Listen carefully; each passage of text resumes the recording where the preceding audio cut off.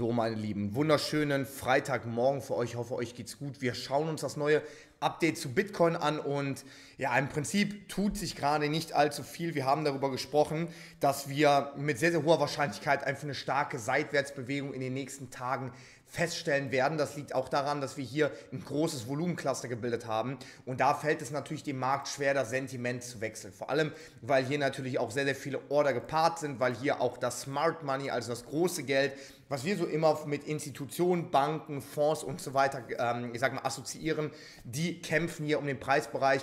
Entsprechend sind die Seitwärtsbewegungen einfach eine folgerichtige Konsequenz. Wir haben hier immer noch diesen dynamischen Widerstand, der immer noch nicht aus der Welt ist, weil der immer noch ja, mehr oder weniger so der die naheste nächste Instanz ist, die der Markt hier bringen kann. Von daher immer noch sehr, sehr spannend. Falls dieser Widerstand gebrochen wird, haben wir die Möglichkeit, einen schönen Impuls nach oben zu bekommen.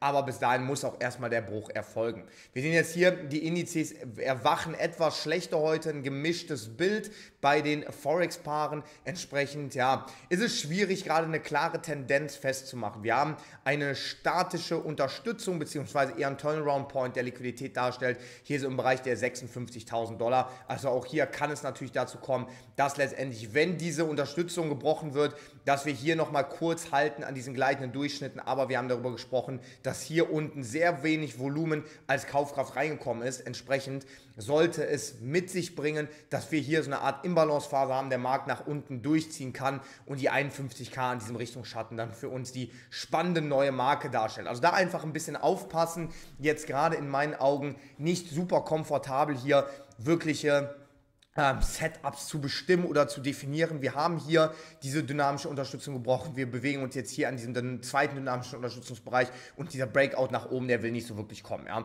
Ich will mich auch nicht allzu viel wiederholen, weil wir über einige Dinge halt einfach schon gesprochen haben. Heißt, wenn der Markt hier nach oben geht, dass er durchzieht aufgrund dieses, dieser Imbalance-Phase, dieses Liquiditätslochs hier, darüber haben wir gesprochen. Falls wir nach unten brechen, kurze Reaktion hier, dann geht es weiter nach unten, darüber haben wir auch gesprochen. Und von daher an der eigentlichen Sache, hat sich gerade noch nicht viel geändert. Nur, dass sich der Markt weiterhin komprimiert und dieser Komprima Komprimierungszustand oder auf diese Kompression des Marktes kann natürlich immer sehr, sehr starke Ausbrüche auch mit sich bringen. Deswegen da einfach ein bisschen aufpassen, ein bisschen vorsichtig sein und vor allem schreit der Markt nach solchen Phasen auch sehr, sehr gerne nach Fake-Outs. Deswegen einfach, darf wie gesagt, ein bisschen Piano an die Märkte gehen, ein bisschen versuchen das Ganze sehr, sehr, ähm, sehr, sehr risikoavers zu behandeln. Und falls wir den Break nach oben bekommen, dann haben wir mittelfristig ein schönes Aufwärtspotenzial. Falls wir den Break nach unten bekommen, dann sollten die 51k für uns weiterhin so die große Marke sein.